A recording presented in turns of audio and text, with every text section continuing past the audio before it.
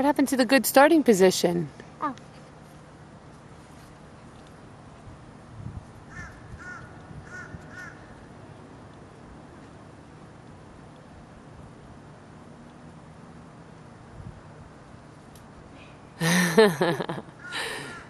Let me see. Oh, Yeah, you're so